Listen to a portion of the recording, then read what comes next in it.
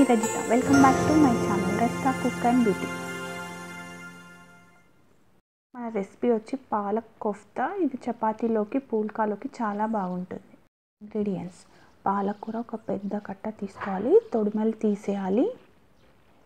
తొడిమలు తీసి ఫ్రెష్ కడిగేసుకోవాలి. ఇప్పుడు మనకు కావాల్సినవి హాఫ్ టీ స్పూన్ పసుపు పావు టీ స్పూన్ ఓమా తగినంత ఉప్పు వన్ టీ స్పూన్ కారం తీసుకోవాలి. ఇప్పుడు పాలకూరని తీసుకొని ఒక బౌల్లోకి వేసుకుందాము. ఫ్రెష్ పాలకూర అయితే మంచిగా ఉంటుంది మనకి. ఒక బౌల్లోకి పాలకూర అంతా కట్ చేసుకోకుండానే వేసుకోవాలి. వేసుకున్న తర్వాత మనం ఇందులో ఉప్పు వేసుకోవాలి. కారం ఓమా కొద్దిగంత పసుపు వేసుకోవాలి. ఇప్పుడు శనగప పిండి వన్ కప్ తీసుకున్నాను. ఇప్పుడు ఒకసారి ఇవన్నీ కలిపేసుకోవాలి. ఆ విధంగా మనకు ఉప్పు వేయడం వల్ల అవే వాటర్ మనకు సరిపోతుంది. పాలకూర కూడా పచ్చిగా ఉంటుంది కాబట్టి ఇప్పుడు వన్ కప్ శనగపిండి వేసుకోవాలి. కొద్దిగా ఉంచుకున్నాను. తగినంత చూసి మళ్ళీ వేసుకుందాము. ఒకసారి ఆ విధంగా కలిపేసుకోవాలి. ఆ విధంగా ప్రెస్ చేస్తూ కలుపుతూ ఉండాలి మనకు. కోఫ్తాకు రెడీ అయిపోతుంది. ఇప్పుడు ఆ విధంగా ప్రెస్ చేస్తూ ఉంటే ఆ విధంగా మెత్తగా అయిపోయింది మిగిలిన శనగపిండి కూడా వేసేసుకున్నాను. ఆ విధంగా వాటర్ వేసుకోకుండానే ఆ విధంగా కలిపేసుకొని కొంచెం చేతికి ఆయిల్ అంటేసుకొని మనం కోఫ్తాలు రెడీ చేసుకోవాలి. ఆ విధంగా రౌండ్గా ఇప్పుడు అన్నీ ఒక బౌల్లో పెట్టేసుకుందాము కోఫ్తాలు. ఆ విధంగా ఇప్పుడు మనకు రెడీ అయిపోయాయి కోఫ్తాలు. ఆయిల్ హీట్ అయిపోయింది. మనం రీఫ్రై చేసుకుందాం కోఫ్తాలను. ఆ విధంగా మీడియంలోనే పెట్టుకొని కోఫ్తాలు డీప్ ఫ్రై చేసుకోవాలి. హై ఫ్లేమ్లో పెడితే లోపల ఉడకదు. అందుకని మీడియం ఫ్లేమ్లోనే పెట్టి మనము కోఫ్తాలను డీప్ ఫ్రై చేసుకుందాము.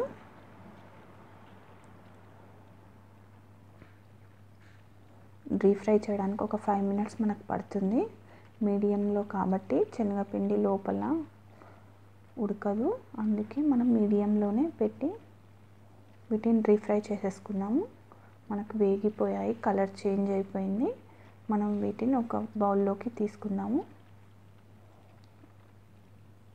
ఈ విధంగా కూడా మనం టమాటా సాస్తో కూడా తినొచ్చు. ఇప్పుడు మనం ఒక కప్ టమాటాలు తీసుకున్నాను. మిక్సీ బౌల్లో వేసుకోవాలి. మిక్సీ బౌల్లో వేస్తున్నాను.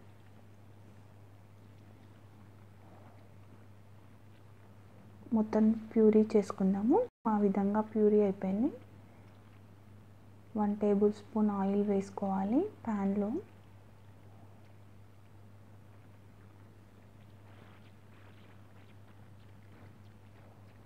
ఆయిల్ హీట్ అయిపోయింది ఇప్పుడు. మనం ఇందులో ప్యూరీ వేసేసుకున్నాము ఇప్పుడు హాఫ్ టీ స్పూన్ పసుపు తగినంత ఉప్పు వన్ టీ స్పూన్ కారం వేసుకొని ఆ విధంగా కలిపేసుకోవాలి. మనకు పచ్చివాసన పోయే వరకు వేయించుకోవాలి. టమాటా ప్యూరీని లేకుంటే ఆయిల్ సపరేట్ అయిపోయే వరకు వేయించుకోవాలి. లేకపోతే మనకు పచ్చివాసన వస్తుంది. ఇప్పుడు ఆయిల్ సపరేట్ అయింది. కొద్దిగాని వాటర్ వేసుకుందాము. హాఫ్ గ్లాస్ వాటర్ వేస్తున్నాను.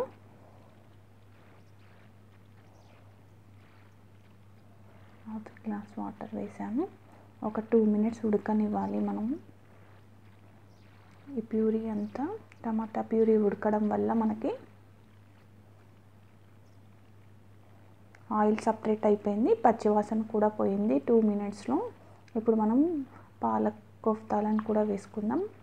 హాఫ్ టీ స్పూన్ అంతా కొత్తిమీర వేసాను ఇప్పుడు పాలక్ కోఫ్తా వేసాను. ఒక టూ మినిట్స్ కలిపేసుకోవాలి. మనకి టమాటా ప్యూరీ అంతా పాలక్ కోఫ్తాలకి పడుతుంది.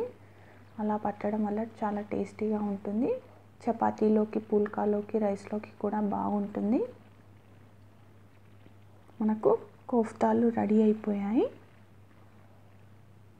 అంత దగ్గరికి అయిపోయింది. కర్రీ అంతా ప్యూరీ అంతా పాలక్ కోఫ్తాలకు పట్టింది. ఇప్పుడు మనం ఇది సర్వింగ్ బౌల్లోకి తీసేసుకుందాము. Palak kofta.